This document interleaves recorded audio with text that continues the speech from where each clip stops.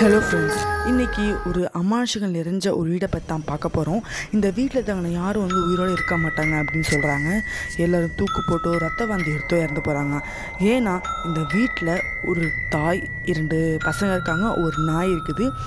இந்த பசங்க ரெண்டு பேர் என்ன பண்ணியிருக்கானுங்க? சொத்துக்காக எல்லாத்தையும் எழுதி வாங்கிக்கிட்டு எங்கள் அம்மாவையும் வந்து வீட்டில் வச்சு பார்க்கணுமே சொல்லிட்டு அவங்க வெளிநாட்டு தங்கலான்னு பிளான் பண்ணியிருக்கானுங்க. ஆனால் இவங்க விட்டு போக முடியாதுல்ல?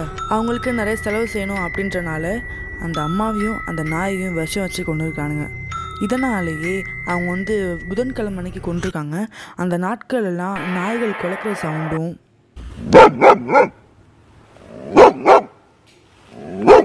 அவங்க அம்மா அடிக்கடி வீட்டை பூட்டிகிட்டு இருப்பாங்க அதனால தான் அந்த வீட்டில் அந்த சவுண்டு கேட்டுட்டு இருக்கு